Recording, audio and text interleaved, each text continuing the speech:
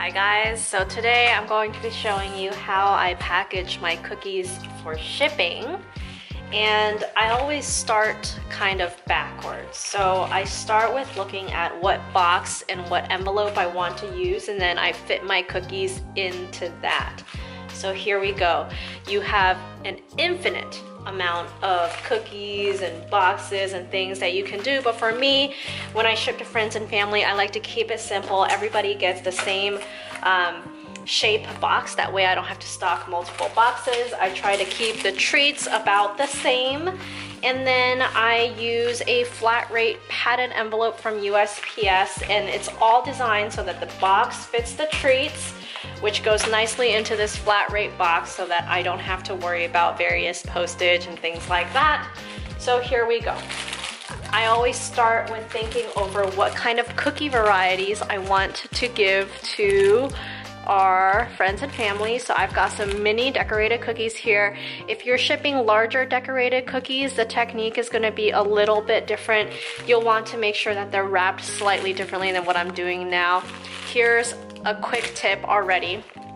I always double heat seal my cookies so I know they are airtight and that they'll stay good for a long time. And the way you can tell that they're well sealed is when you press on it, there's give. You can't hear the air leaking out anywhere. That's what you want. That'll prolong the, life, the shelf life of your cookie. And in addition, you just want to make sure that everything has a little bit of air in it that actually acts as a little bit of an extra cushion itself. I also have these butter cookies. I have a, a recipe for these guys on um, uh, the, my YouTube, so definitely go check out the channel, check that out. I'm also shipping these cookies. These are our everything cookies. And these are basically like your sweet and salty everything, uh, but the kitchen sink cookies right here. And then lastly for the, the little cookie box, I homemade some marshmallows and I cut them up and then I sandwiched them between chocolate and graham crackers so they're like mini s'mores. How cute, right? So this is what I'm going to be shipping. It's plenty as a little taste kind of treat box and then there will be room in here for me to add some miscellaneous small things to kind of customize it to my recipient. So here we go. I'm going to summarize everything into a blog post and also put that down below. So if you find this helpful, definitely give it a thumbs up, give our video a thumbs up, and subscribe to our channel for more. So in addition to the box, I've got some tissue. This is my Borderlands Bakery custom tissue. And I've also got some shred. So this is great stuff for extra cushioning.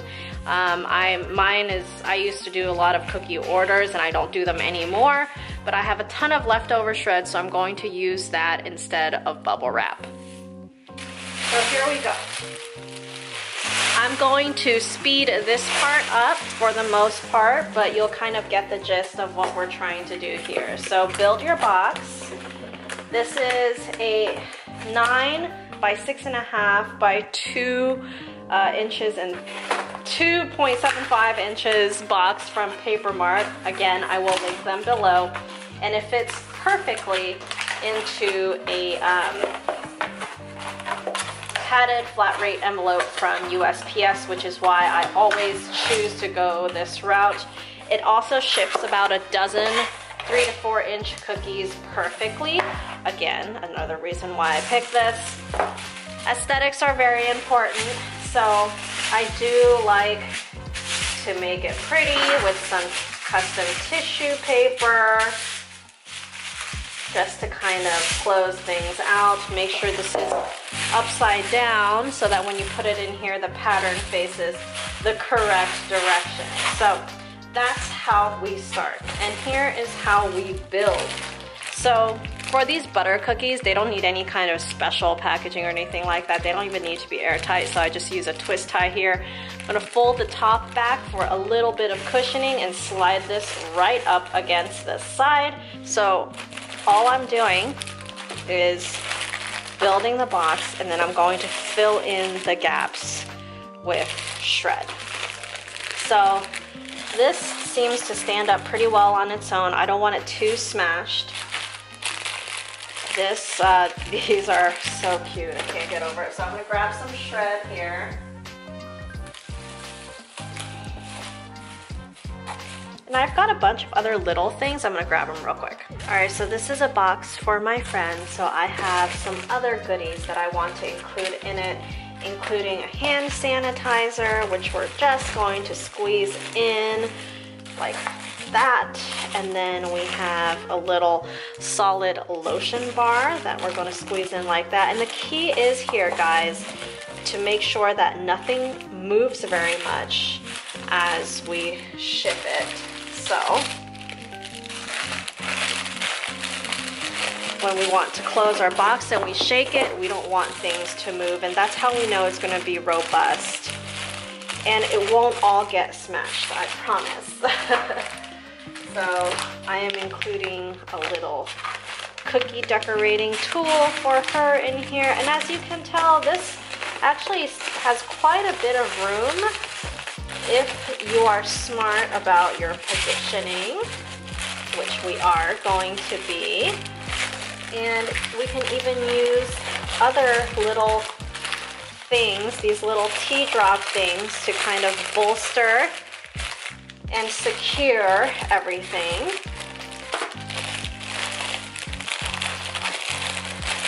I have that on top.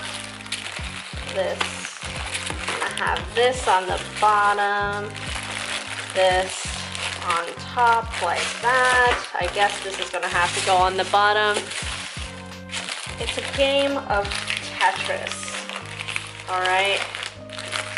But it's going to work out real well. I like to cushion everything nicely. And then we'll have this guy sit on top and it's perfect.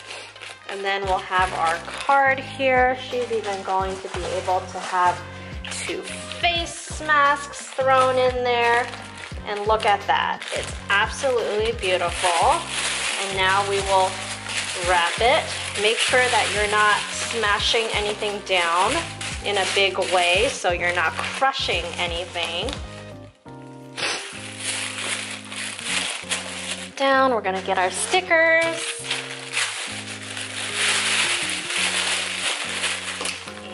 Seal it off just like this. And it should be a tight fit is what we want without crushing it. So it should be good, just like that. You don't wanna hear things moving around. That's how you know it's good. And if something gets smashed just a little tiny bit, it's okay. It's okay. But for the most part, we know that this is gonna be good. So this is done. We are going to slide it into our flat rate padded envelope. It's going to be a very tight fit. So everything is designed to be just the right fit.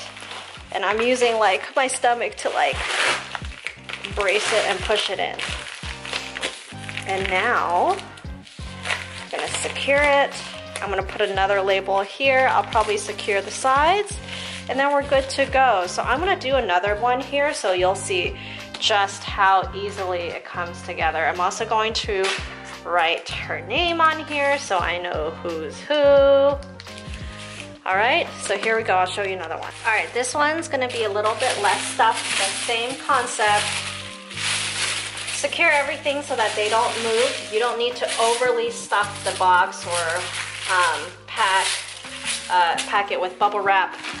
And when you choose your designs, it's critical that you go for things. So with minis, uh, with the movement, they won't crack as much. With the one big, more uh, bigger surface area cookie, with all that shifting, it has a greater potential to crack. So this is why I actually always now go for minis when I ship.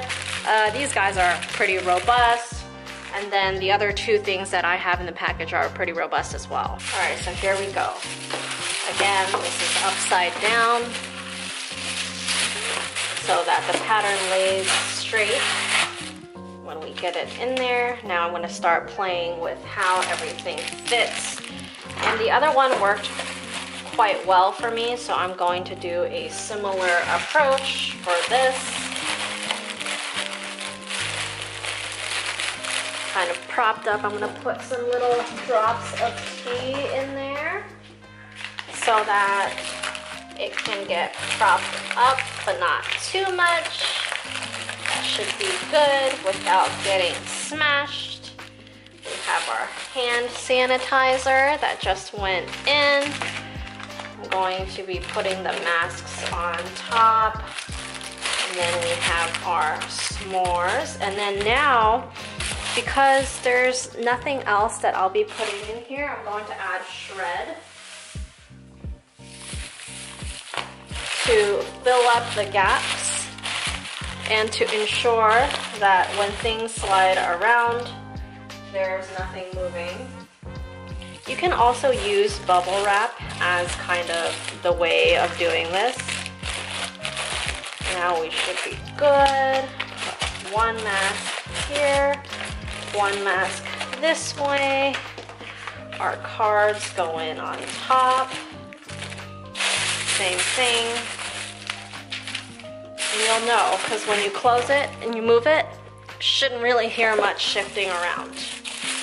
And you can use your tissue to kind of hold it tight. You see I kind of pulled it up, pulled it taut so everything is even more secure.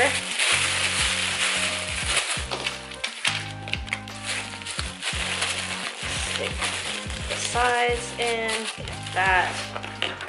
Now we got another box and it's gonna be nice and well packed, well secured.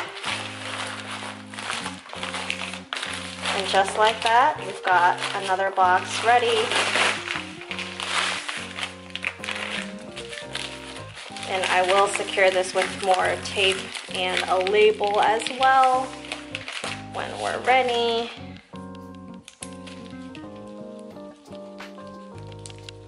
Putting their name on there. Again, it shouldn't move. That's how you know it's good. All right, to give you another angle at how I'm packing this. So I've already lined my box and I'm gonna start packing it the way that we had arranged it earlier.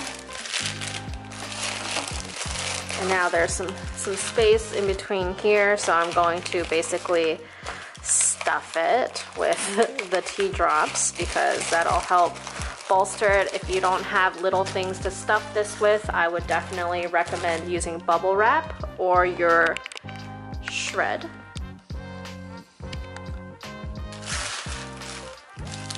And then I've placed things in here as they fit.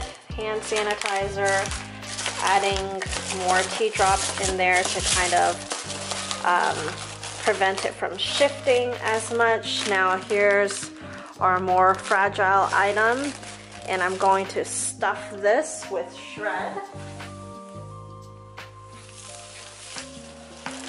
Both around and a little bit on top to give it a little bit of space between this and the decorated cookies that we'll be putting on top. So just grabbing that shred, shoving it into all the various crevices, making sure nothing is um, like rubbing it wrong and just giving it some space. So now we're pretty good. I'm gonna put in the face masks, our card. So I think I could put the face masks in this way because they have a little bit of give in them. And make sure that it's all even and that you can close the box without having to press down on the top to smash the cookies. Very important.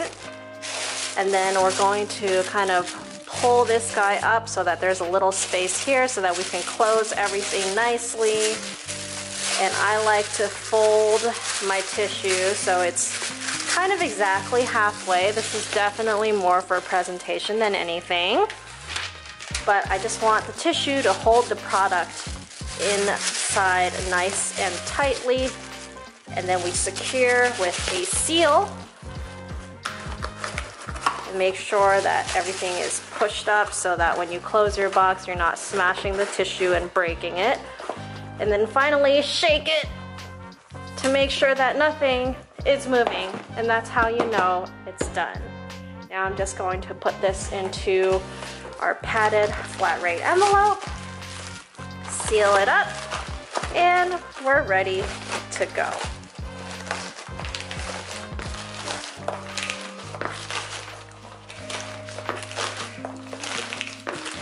Tight fit, as you can see.